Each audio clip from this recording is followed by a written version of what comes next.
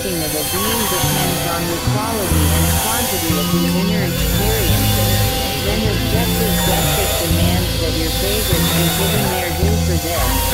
On that day, as spoken unconsciously, they compelled me to undergo and to feel perhaps more than I had undergone and felt during all the centuries of my personal presence among them.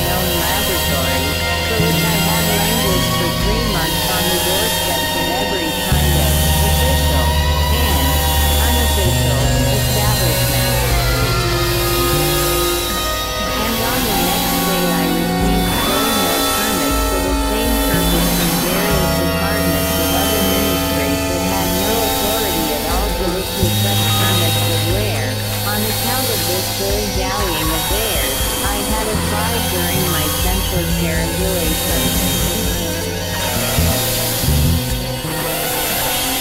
The house owners, shopkeepers, children, and in general everyone in my street became as amiable toward me as if I were intending to leave each of them a large American legacy, and so on and so forth.